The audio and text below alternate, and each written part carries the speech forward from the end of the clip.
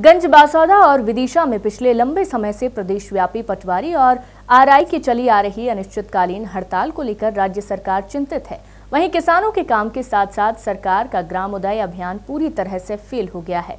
हड़ताली पटवारियों से निपटने के लिए अजमा लागू कर रही है। वहीं पटवारियों ने भी अपने सरकारी कागजों के बस्ते तहसील में जमा कर दिए हैं।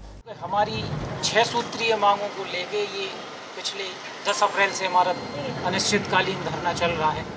उन छह सूत्रीय मांगों में सबसे मुख्य हमारी जो मांग है, वो वेतनमान की मांग है। और ये हमारी आज की मांग नहीं है, ये हमारी वर्ष 2007 से हमारी मांग चली आ रही है। और हमारी इस मांग को माननीय मुख्यमंत्री जी ने भी कहा है कि ये बिल्कुल जायज़ मांग है और ये पूरी होनी चाहिए। लेकिन केवल कहने से मांगें पूरी नहीं होती, ये मैं माननीय मुख्यमंत्री जी को बताना चाहता हूँ। हम पटवारी फ़ील्ड के कर्मचारी हैं, हमें कितनी परेशानियाँ आती हैं हर क्षेत्र में, उसका तो शायद अंदेशा भी नहीं होगा। तो हमारी जो मांग है वेतन मान की, वो हमारी मुख्य मांग है। उसके अलावा हमारी पाँच और उसकी सपोर्टिंग मांग है।